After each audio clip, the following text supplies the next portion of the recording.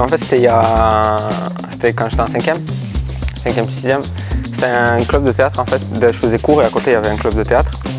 Et dans ce club-là, en fait, on était une trentaine d'élèves et il y avait plusieurs groupes. Dans chaque groupe, euh, on devait euh, écrire nous-mêmes notre spectacle.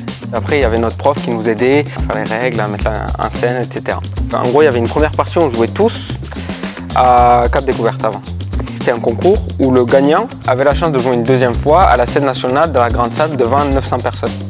Notre spectacle a le plus plu parce que euh, avec mes amis, bon, on a touché euh, ce qu'il faut, je pense, avec euh, l'humour. Quand on est jeune, on est directement parti dans l'humour. On joue de ouf et là, en fait, on fait taper des barres à, toute la salle.